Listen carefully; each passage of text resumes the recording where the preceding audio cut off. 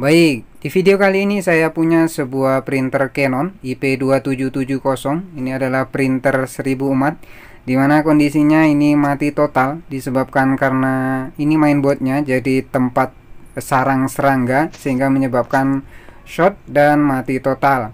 Nah, buat kalian yang memiliki printer yang sama seperti ini, bagaimana langkah-langkah menganalisanya agar kita bisa menghidupkan kembali printer ini.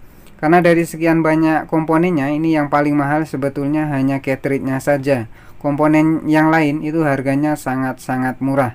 Ini untuk bagian mainboardnya saja, jika mati total, saya langsung mengganti karena harganya cukup murah, sekitar Rp20.000 saja yang copotan dan normal.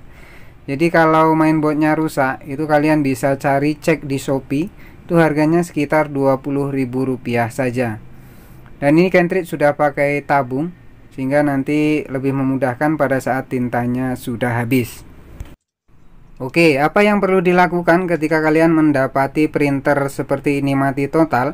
Langkah pertama yang harus kalian lakukan adalah kalian cek terlebih dahulu eh, soket ini.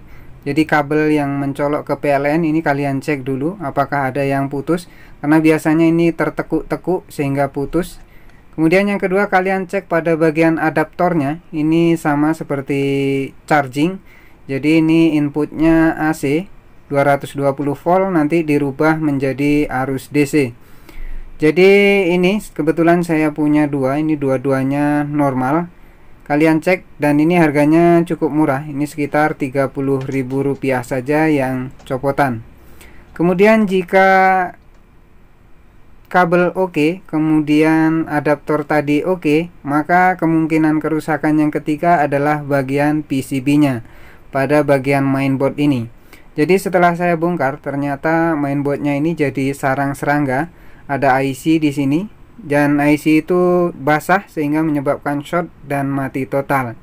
Nah, jika kalian memiliki masalah yang sama seperti ini, eh, PCB-nya rusak, kalian tidak perlu susah-susah mereparasi atau mengganti komponen yang rusak mencari-cari jalurnya. Karena ini PCB-nya cukup murah.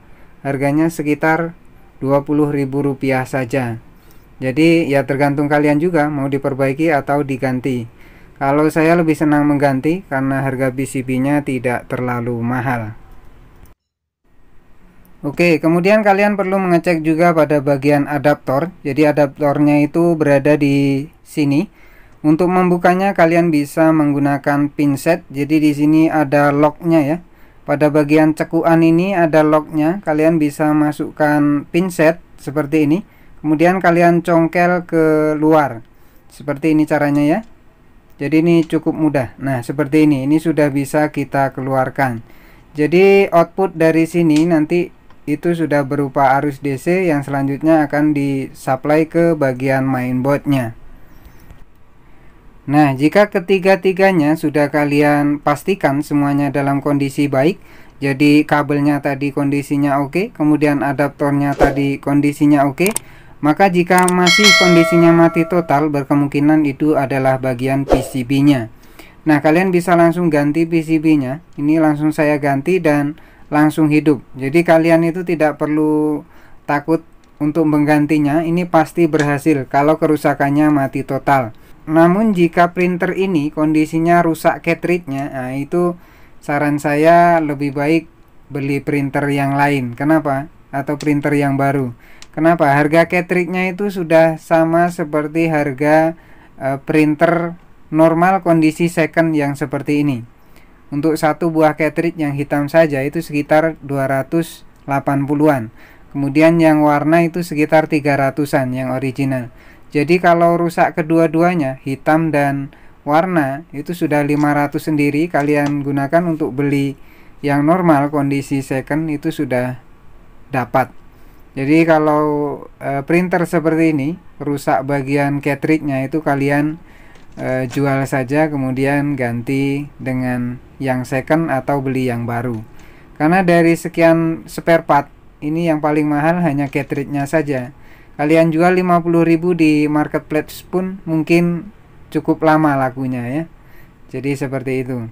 Nah jika kalian punya printer yang sama seperti ini kondisinya mati total cartridge nya masih bagus kalian perbaiki saja karena ini gampang dan mudah sekali. Spare partnya juga tidak terlalu mahal jadi kalian bisa cek di Shopee dan kalian bisa langsung menggantinya Oke demikian cara menganalisa printer Canon yang mati total. Selamat mencoba dan semoga sukses